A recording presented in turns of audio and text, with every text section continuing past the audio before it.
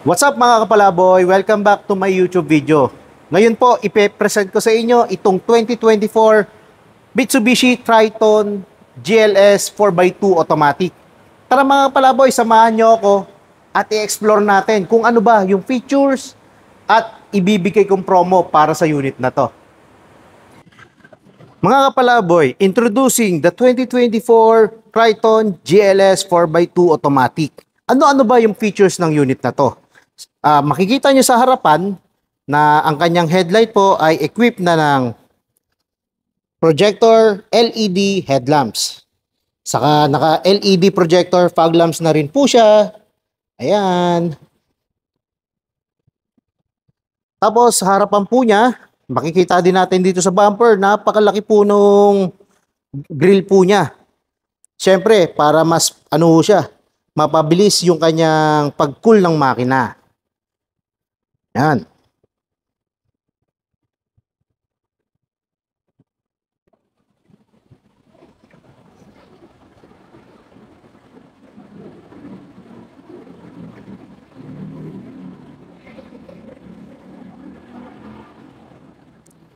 Equipped na rin po siya ng ano ho, front collision mitigation system. Yung ano nito, benefits po nito, kapag may pumreno sa harapan natin or nakahintong sasakyan or, or obstacle, pedestrian, hihinto rin po yung unit natin. Yan. Papakita ko lang kung saan po nakalocate yung kanyang sensor. Nandyan po siya. Tapos, meron na rin po siyang auto lightning sensor at rain sensing sensor po. Mga kapalaboy, itong unit na to, equipped na rin po siya ng camera 360 around view po. So kapag umatras ho tayo or gagamitin natin sa makitid na daanan yung unit, magagamit po natin yung camera 360 view niya. At makikita din natin yung paligid ng unit natin.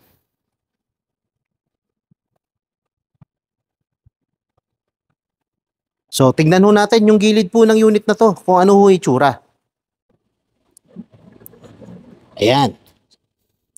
So guys, itong unit na to, equipped na po siya. Or, so guys, yung unit na to, yung braking system po niya, equipped na po siya ng ABS with EBD.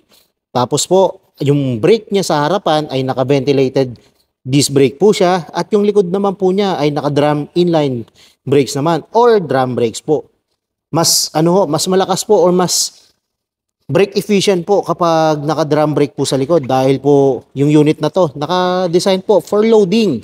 Kaya kailangan malakas din yung brakes natin.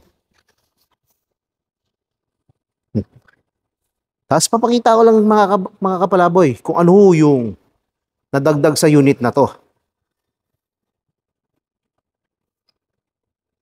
Yan. Kung napapansin nyo, may button dito dahil meron po siyang keyless operating system. Hindi niyo na kailangan ilabas yung susi para i-lock or i-unlock yung unit. Dahil pipindutin niyo lang yung button dito para mag-lock po siya o kaya i-unlock natin yung unit niya. Tapos sa gilid din, free. Kung nakikita niyo po ito, ito po yung Triton Sports Triton Sports Bar. Ayan. Ang ganda, di ba? So guys, ito po yung controls ng driver side. Kung makikita nyo, nandito sa driver side door, uh, meron ho siyang switch para huma-off natin yung mga window para hindi ho ng mga passengers natin sa likod at dito sa front passenger door po or passenger window. Then, nandito na rin yung control para naman sa kanyang side mirror. Ayan, pipindutin lang natin to kung ano yung side side mirror na gagamitin natin para ma-adjust natin yung kanyang angle po. At tapos, meron din po siyang so, ano, central door lock. Ayan. Pipindutin lang natin tong button na to para mag-unlock po lahat ng windows or sorry, yung kanyang door. At ito naman pipindutin natin para mag-lock naman po yung mga pintuan niya. So guys, ito pa yung nadagdag sa feature ng, Monte, eh, ng Triton GLS automatic natin. Meron po siyang switch dito para huma-adjust natin yung level po ng headlight po niya. Para ma-prevent po na masilaw po yung incoming traffic po or incoming vehicle po sa harapan natin. Kasi kapag meron po tayong karga sa likod, tutungo po yung unit natin. Siyempre, tataas yung tutok ng ilaw. Kaya masisilaw po yung mga kasalubong natin. Itong button na to, yan po yung gagamitin natin para po bumaba po yung tutok niya. Para hindi tayo mag-cause ng irritation or road rage o di kaya an, o kaya accident sa makakasalubong natin. Yan, napakabait talaga ni Mitsubishi. Meron tayong mga ganitong features po. At itong button na to, yan naman yung button para mahinaan po natin yung ilaw or brightness ng ating multi-information display. So, ayan. Then, pasukin na ho natin yung unit. So guys, dito naman tayo sa control sa kanyang steering wheel. Ito po yung control para po sa audio steering remote. Ito naman po, saka itong button na to, or tawag dito, uh, yung toggle switch na to, para naman sa, ano ho, sa pagbago ng settings ng multi-information display natin. At dito rin, magagamit natin kung magagamit natin to kung gusto natin i-explore yung multi-information display. Tapos, dito naman sa right, ito naman yung cruise control button at ito naman yung kanyang hands-free button. Siyempre, hindi mawawala yung voice command button natin. Yan. So guys, ito yung head unit ng Triton GLS automatic natin. Naka 9 inch LCD touchscreen monitor na po siya. Tapos, ang kinaganda na itong unit na to, kung sa mga previous model natin, kailangan natin gumamit ng cable para magamit natin yung Android Auto or Apple CarPlay. Ngayon, wireless na po siya. Magagamit natin yung mga yung SmartLink display audio na hindi na gumagamit ng kable. Tapos, ayan, mas malaki yung head, yung ano niya, head unit ngayon ha. So, makikita natin at mas malinaw yung ano tawag dito yung video at syempre hindi naman boboard yung mga passenger natin kasi kahit nasa likod sila nakaupo makikita nila ng klaro yung pinapanood nila sa ating monitor po tapos mga kapalaboy ayan meron siyang offline navigation map tapos kapag pinindot natin tong camera lalabas naman yung camera 360 view niya magagamit natin yan. Gaya ng sabi ko kanina, kapag nasa makitid tayo na eskinita or magpa-park, magagamit natin yan para makita natin yung paligid ng sasakyan natin habang nagpa-parking. Yan. So guys, nandito na tayo sa aircon controls ng 2024 Triton GLS 4x2 automatic. Naka dual zone auto climate control po siya. So guys, paano ba natin malalaman kung dual zone yung aircon niya? Ayan, may sync button po siya. At syempre, fan speed buttons nandyan sa baba. Doon sa lower variant natin, fan speed button or fa fan speed toggle switch niya nandito. Tapos nandito naman yung aircon, ano niya, yung sa cooling or thermostat po niya. Ayan. So, hmm, ganda, di ba? Oh. Ano pa bang nadagdag sa unit na to?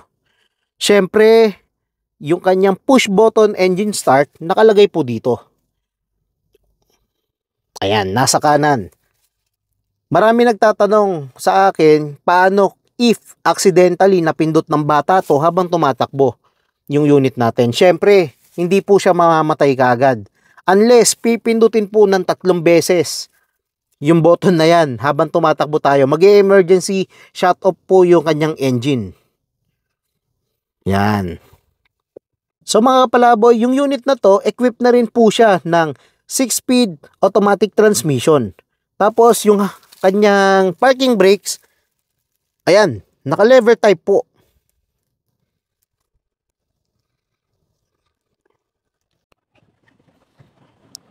Guys, guys, yung airbag po ng Triton GLS automatic natin, 3 airbags na po siya may airbag po siya dito sa ano ho, sa steering wheel and doon po sa dashboard. Tapos meron din siyang airbag dito sa kanyang knee. Ayan. nakalocate dyan. Triton GLS 4x2. Dito po sa second row, sa likod ng armrest console, meron ditong dalawang charging port po. Ito, meron tayong USB port, saka meron tayong Type-C na port po for charging. Then, meron din ditong 12 volts power outlet kung gusto natin magsaksak ng other devices po na compatible for 12 volts na socket. Yan. Papakita ko kung ano itsura ng second row ng Triton.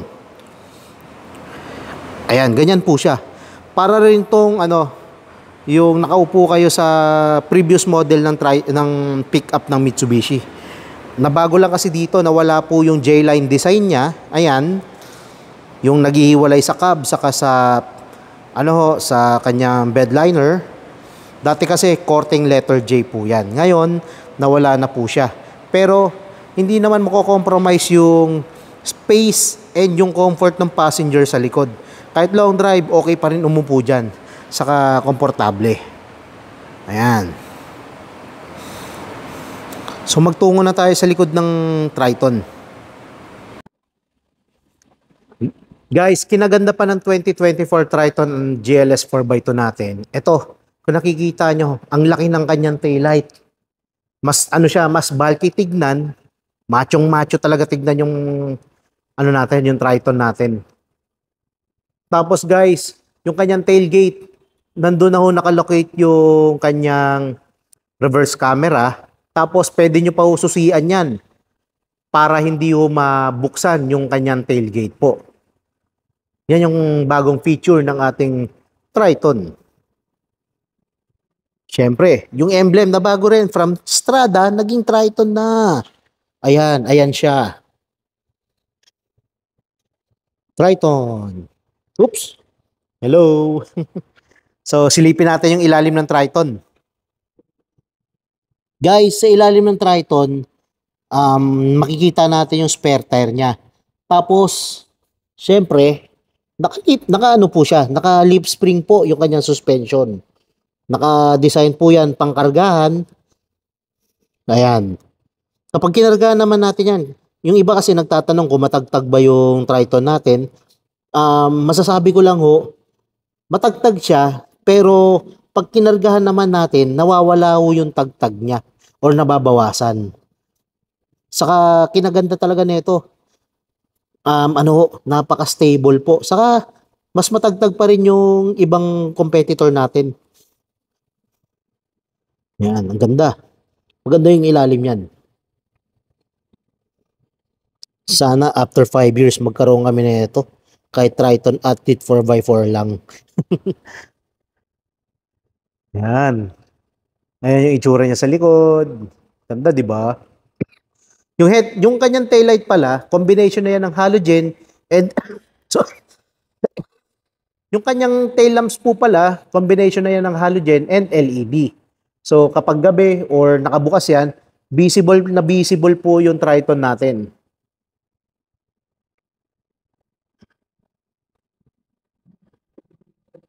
Yan. So mga kapalaboy, kung meron ho kayong inquiries or question regarding sa 2024 Triton GLS 4x2 automatic natin, maaari nyo po ang tawagan sa number na naka-indicate dito sa screen o kaya i-message nyo po ako sa aking Facebook or, or social media account para po sa other details po. And sana po mga kapalaboy, kayo naman yung maging next Mitsubishi client namin. Bye!